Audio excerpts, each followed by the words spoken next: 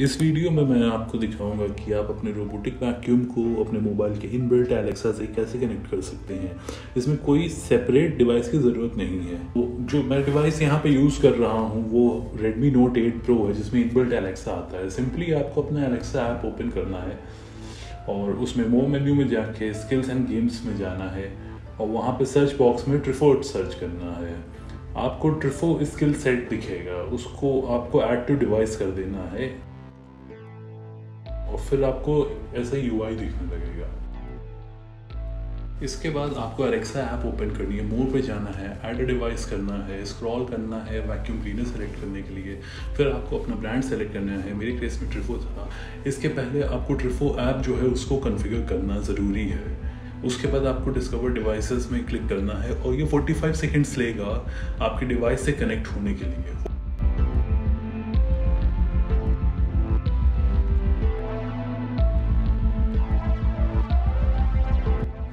उसके बाद आपको डन पे क्लिक करना है। आप क्लिक ऑन ऑल डिवाइसेस करेंगे तो आपको सारे डिवाइसेस में वैक्यूम क्लीनर आपका as a new device show करेगा। जैसे मेरे केस में मैक्स शो कर रहा है। इसके बाद अपने इन बिल्ट एलेक्सा को यूज़ करके आप अपने डिवाइस को ऑपरेट कर सकते हैं। Alexa, turn on Max.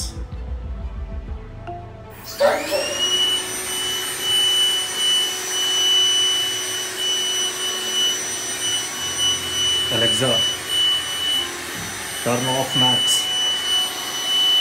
Going back to the charging station.